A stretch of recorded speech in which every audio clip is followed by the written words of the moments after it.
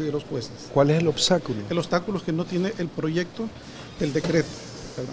Entonces, nosotros, el, el, el, el escrito solo estamos pidiendo dos cosas concretas. La derogatoria del decreto de las reformas a la ley de la carrera judicial y la restitución de los magistrados.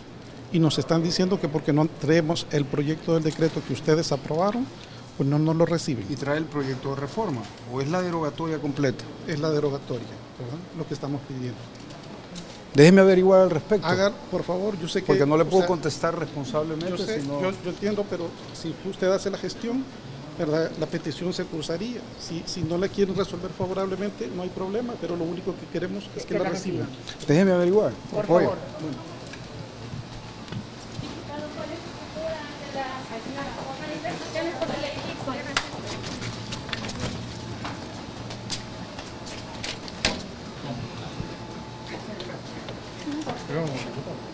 No se nos quiera recibir el escrito firmado por un colectivo de jueces y magistrados destituidos.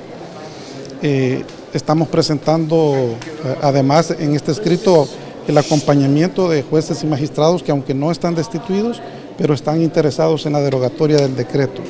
En la ventanilla de recepción no se nos quiere recibir el escrito, eh, se nos dice que tenemos que agregar la copia del decreto y, y a mí me parece un obstáculo totalmente irrazonable. Ese decreto lo ha emitido la misma Asamblea Legislativa y pedirnos una copia pues eh, es absurdo.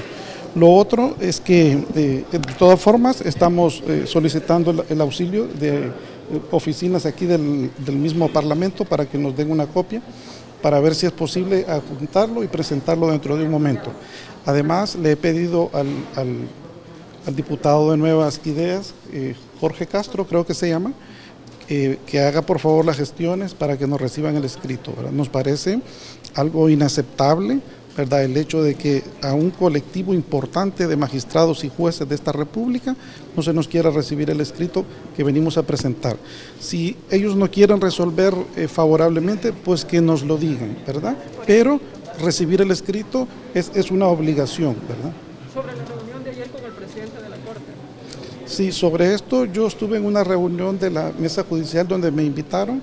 Él se disculpó porque nos negaron el acceso a la corte. Se- además, este, hizo unas eh, consideraciones sobre el decreto de, que destituye a los jueces y además se informó que se iba a hacer las gestiones presupuestarias para indemnizar a los jueces porque son alrededor de 249 jueces los que estarían quedando eh, destituidos con el decreto. En la pieza de corre- correspondencia que ustedes quieren entregar, ¿qué es lo que están solicitando a la Asamblea Legislativa? Concretamente son dos cosas. La primera es la derogatoria del decreto de las reformas a la ley de la carrera judicial y segundo, el restablecimiento de los magistrados constitucionales destituidos. ¿Su nombre? Samuel Izama. ¿Por qué se pronuncian hasta ahora con referencia a lo de los magistrados destituidos el 1 de mayo? Bueno, esto fue una sorpresa total, ¿verdad?, para los jueces y los magistrados. Nunca en la historia de este país se había dado una destitución de todos los magistrados y además sin escucharlos y sin permitirles eh, el debido proceso y la asistencia de un abogado. Eso impactó profundamente a los jueces y magistrados y por esa razón pues eh, han pasado unos meses y, y hemos estado en mucho análisis, en mucha reflexión, ¿verdad?, en relación con esta situación. ¿Han perdido ustedes la independencia, considera, con estas reformas y con Esta- estas estas reformas ¿verdad? constituyen un, un tercer atentado ¿verdad? a la independencia de los jueces, ¿verdad? definitivamente. ¿Han sido amenazados? ¿Algún juez ha recibido alguna amenaza? Al- ¿De algún partido? Algunos de los colegas que han participado en esta, en, en esta petición de los jueces y magistrados han sido efectivamente intimidados. Algunos de ellos los han citado a la Fiscalía General de la República, ¿verdad? Y esto nos parece que es una persecución política indebida.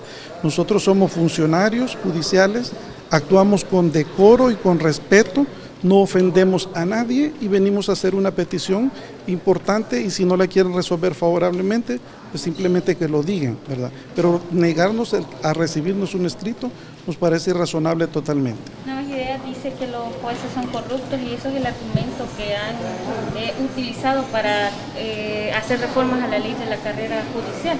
No sé cuál es. Pues nosotros hemos dicho que si hay jueces corruptos, pues que presenten las pruebas. Está la sección de investigación de judicial de la Corte. Es una competencia de la Corte investigarlos y sacarlos de la, de la carrera judicial. Nosotros los jueces que hacemos un trabajo responsable somos los más interesados en que esto pase.